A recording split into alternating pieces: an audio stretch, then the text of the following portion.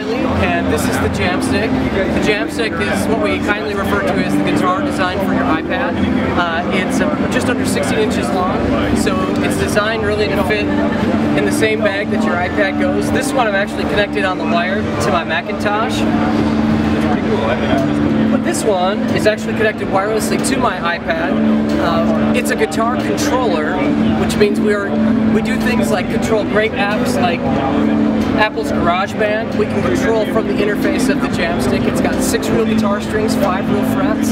Uh, what's crazy is that we actually use infrared light to see what's happening from within the neck, so we actually see your hands as you play. If I come over here as I place my fingers down, you can see here on the screen, without me strumming those strings, it's actually seeing what I can do in real time.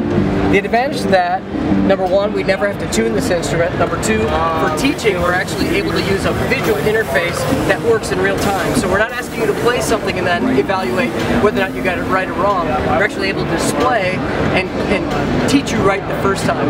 Uh, the other side of it is it gives us the opportunity to do things like string band um, and lots of different picking styles natively. We don't need any extra standalone software to do that.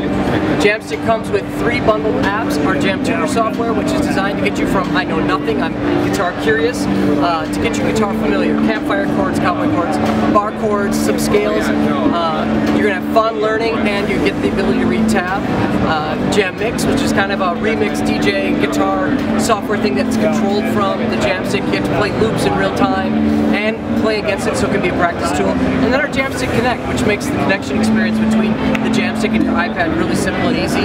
For the Macintosh, we have a, a driver that uses our proprietary technology we call ZFi, which uh, is just a more performance-oriented Wi-Fi spec that gets us around a good solid Wi-Fi connection get your main traffic over. Or, as you saw earlier, we can use the USB cable if you're in a noisy Wi-Fi environment or just want the security of going wired. So the Jamstik retails for $2.99. Uh, it's available right now at jamstik.com and it's coming to a retail seller near you uh, middle of August.